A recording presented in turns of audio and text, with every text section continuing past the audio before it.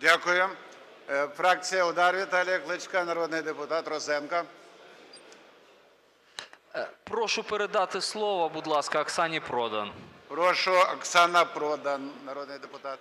Шановний Володимире Васильовичу, шановні колеги, цей законопроект дійсно досить складний не тільки по обсягу, але й по змісту. Але я хочу звернути вашу увагу на те, що зазначені в проекті положення є початком тієї роботи, яку ми запропонували депутати від фракції УДАР в двох законопроектах, які є уже в парламенті раніше, і які ми вже один з них розглядали в залі. Це законопроект номер 2149 щодо відміни довідок е, і відміни е, корупції в адміністративних послугах. В тому проекті, який ми зараз оглядаємо, є маленька частина тієї ідеї, яка закладена в проекті 2149. І законопроект 3256, який передбачає внесення таких змін, які запропонував сьогодні Президент, не в 37 законів, а в 87 законів. Тому ми вважаємо, що цей зако- законопроект повинен підтриматися залом для підготовки в першому читанні як тільки перший крок по повній дерегуляції бізнесу.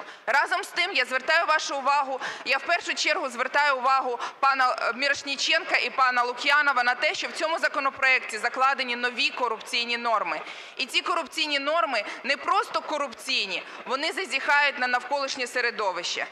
Прошу звернути увагу при доопрацюванні до другого читання, і ми обов'язково від фракції УДАР внесемо необхідні для цього поправки на два положення. Положення стосовно корис- використання земель під лісовими насадженнями, під лісовим господарством. І друге, цим законопроектом передбачається введення дозволів не на розміщення відходів, як це є сьогодні, а на роботу пов'язану з відходами. Таким чином може відновитися ситуація, коли від, е, збір і звітність по розміщенню відходів будуть здавати всі суб'єкти підприємницької діяльності. Але загально проект гарний і ми будемо його підтримувати. Дякую.